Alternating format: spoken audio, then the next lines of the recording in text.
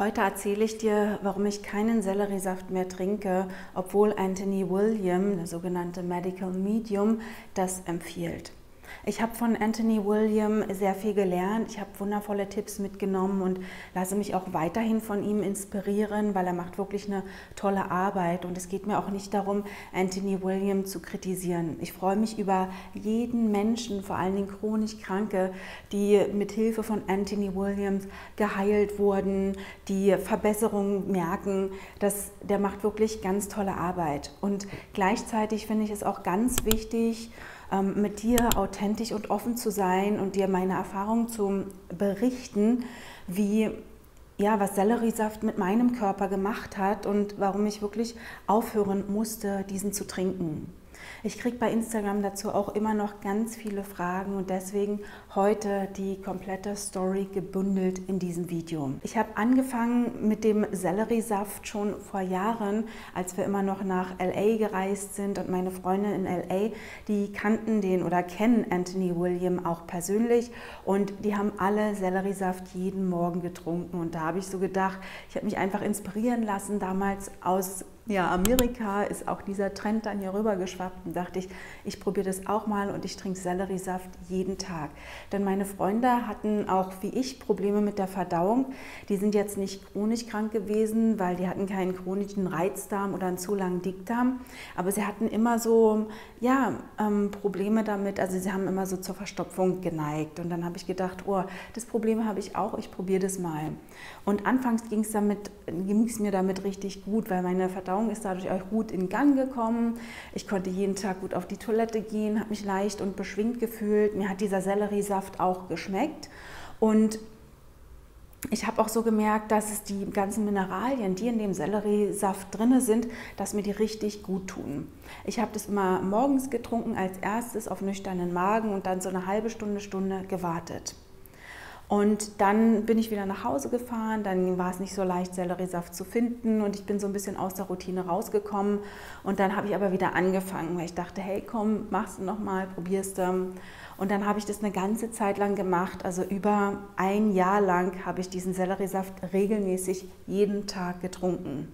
Und irgendwann ist es dann dazu gekommen, dass wir in Urlaub gefahren sind und ich dann dachte, hey komm, du schleppst jetzt den Saft da nicht mit und machst jetzt einfach mal eine Pause vom Selleriesaft, weil dieser Selleriesaft war für mich so ein bisschen heilig und ich dachte, ohne diesen Selleriesaft könnte ich gar nicht auf die Toilette gehen. Dabei musst du wissen, dass ich aber schon ähm, durch diesen Selleriesaft auch ich konnte auf Toilette gehen und auch richtig gut, aber schon zu gut, um das mal so auszudrücken.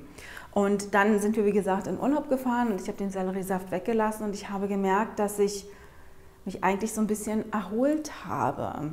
Weil durch diese ständigen Durchfälle, die ich durch den Selleriesaft bekommen habe, waren auch sehr viele Nährstoffe, denke ich mal, so mit rausgespült worden. Und ich habe angefangen, mich gar nicht mehr so richtig energetisiert und stark und ja, voller Power gefühlt, wie ich das sonst immer habe, wenn ich mich rohköstlich ernähre.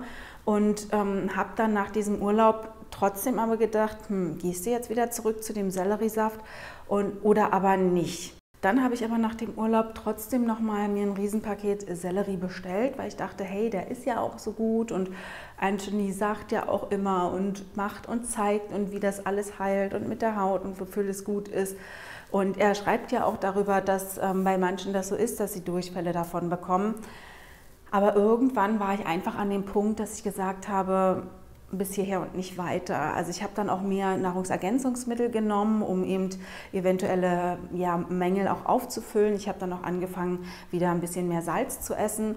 Aber das letztendlich habe ich irgendwann bin ich irgendwann an den Punkt gekommen, dass ich gemerkt habe, vielleicht ist es wirklich der Selleriesaft, der mir nicht gut tut und habe dann aufgehört und pausiert und ich habe gemerkt, wie Schritt für Schritt meine Kraft wieder zurückgewonnen habe, dass ich gemerkt habe, dass ich viel mehr Energie wieder hatte und ähm, auch nach und nach wieder die relativ vielen Nahrungsergänzungsmittel, die ich dann zu dem Zeitpunkt schon genommen habe, wieder runterschrauben konnte. Allerdings war meine Verdauung nach wie vor nicht mehr gut und es war dann auch so weit, dass ich eben ja richtige Probleme bekommen habe mit meiner Darmflora. Also ich hatte wirklich richtig unangenehm riechende Blähungen. Das habe ich ja auch bei Instagram auch geteilt und habe dann irgendwann die Entscheidung getroffen, hey Marielle, du musst jetzt doch mal zum Arzt es untersuchen lassen.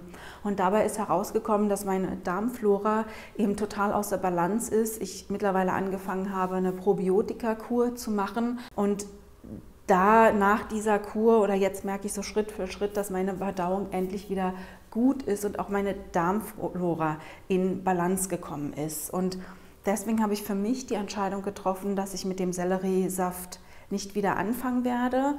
Ich, das heißt nicht, dass ich nie wieder Selleriesaft trinke. Mal kaufe ich mir schon noch Sellerie zum Entsaften, aber ich trinke jetzt lieber jeden Morgen variierte, frische, grüne Säfte, auch mit Möhre oder rote Beete, angepasst auch an die Jahreszeiten und ich merke, dass es mir damit wesentlich besser geht. Ich freue mich über jeden, der durch die Tipps von Anthony ja, Gesundheitsvorteile hat, der davon profitiert, dem es besser geht.